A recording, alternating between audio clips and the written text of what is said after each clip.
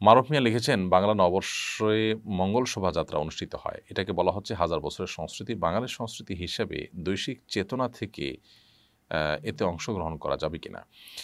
আমরা সবাই কম বেশি অবগত যে এই মঙ্গল শোভাযাত্রা শুরু হয়েছে উনিশশো সনে। উনিশশো উনিশশো উননব্বই সনে কলকাতার কিছু শিক্ষার্থীদের উদ্যোগে ঢাকা ইউনিভার্সিটি থেকে যে এটি শুরু হয়েছে, সেটি নিয়ে বহু আর্টিকেল আপনি এখনও অনলাইনে পাবেন। মাত্র পঁয়ত্রিশ বছর আগের ঘটা, আগে শুরু হওয়া ঘটনাকে হাজার বছরের ঐতিহ্য বলা একটা মিথ্যাচার, একটা প্রতারণা।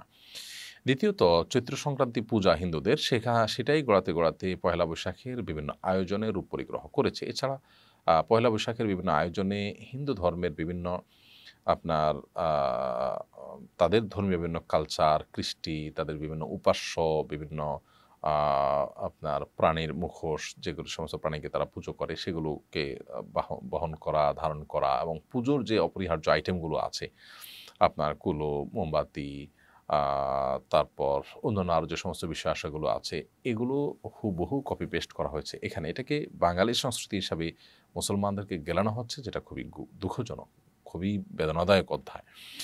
তো দেশীয় সংস্কৃতি তো পালন করাই যেতে পারে। সেটা যদি সত্যি দেশীয় সংস্কৃতি হয় এবং সেটা যদি কোনো ধর্মের, ধর্মীয় কোনো সিম্বল বহন না করে তো সেরকম সংস্কৃতি সাথে ইসলামের কোনো সংঘর্ষ না থাকলে সেটা করাতে কোনো অসুবিধা নেই। কিন্তু যেখানে পরিষ্কারভাবে অন্য ধর্মের ধর্মীয় কার্যাবলী রয়েছে এবং এরপরে বিভিন্ন বিশ্ববিদ্যালয়ের শিক্ষকদের বিভিন্ন সাক্ষাৎকার এখনও আপনি অনলাইনে খুঁজলে পাবেন যে পয়লা বৈশাখটা আসলে কি, মঙ্গল শোভাযাত্রাটা আসলে কি, মঙ্গলের উদ্দেশ্যে শোভাযাত্রা করা, তার মানে এই শোভাযাত্রা করলে মঙ্গল হবে। এটা যেমন অবৈজ্ঞানিক তেমন এটা ইসলাম কর্তৃক অসমর্থিত বিষয়।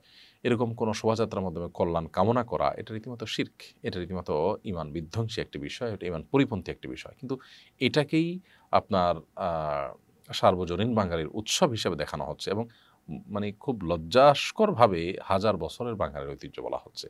খুবই দুঃখজনক। তো দেশের সংস্কৃতির নামে হিন্দুয়ানি সংস্কৃতিকে ধারণ করা জায়েজ নাই এবং এটি থেকে আমাদের বেঁচে থাকা অপরিহার্য কর্তব্য।